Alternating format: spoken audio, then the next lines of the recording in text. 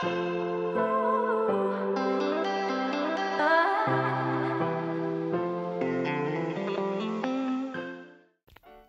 guys, Akinia here, and today I am going to show you guys, I'm gonna, well, I'm gonna be trying out this peppermint mocha latte Starbucks drink that I got uh, Black Friday.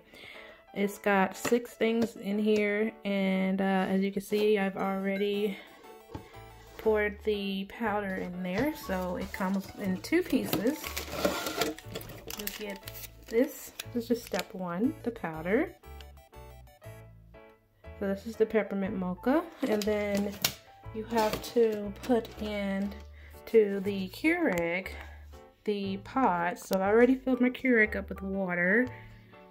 And so here is the pods that I'm going to be putting in here.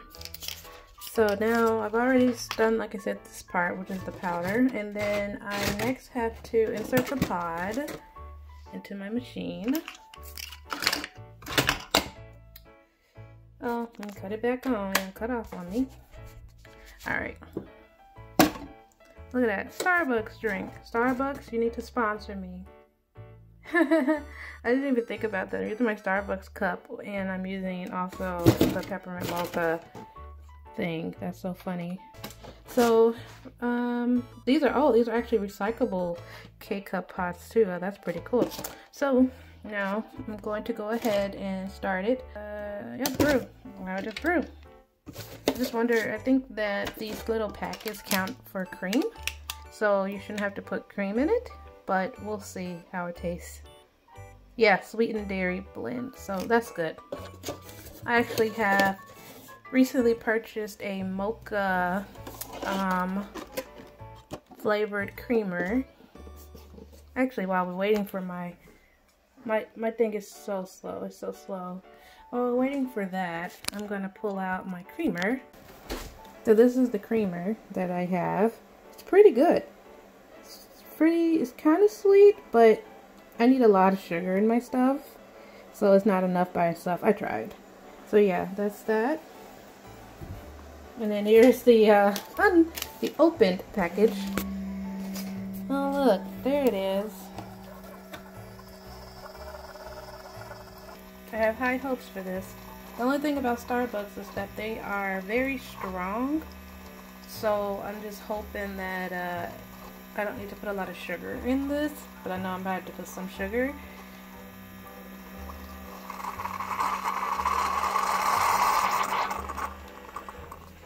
Alright, there it is.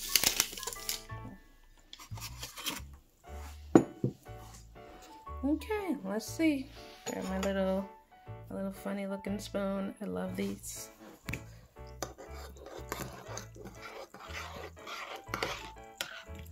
All that powder. Oh wow.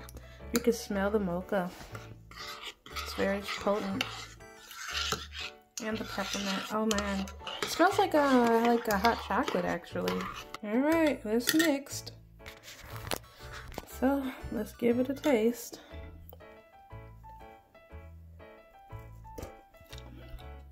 Oh, wow. wow. Oh, wow. It's really strong. It's kind of bitter, actually. So I'm to go ahead and add my sweetener to my mix. So for my sweetener, I use equal. So I'm to go ahead and put these in here.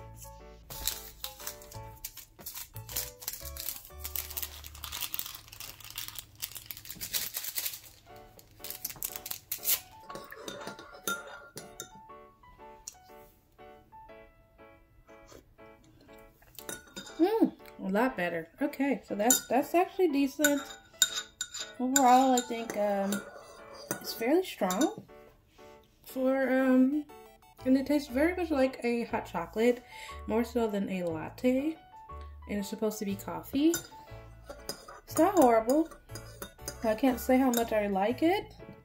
But it even looks like, you know, it looks like uh, more like hot chocolate than coffee. But yeah, it tastes kind of crispy. Not really. But yeah, so if you enjoyed this, you'd like me to um, do some, another taste test. I'll probably end up doing some other stuff.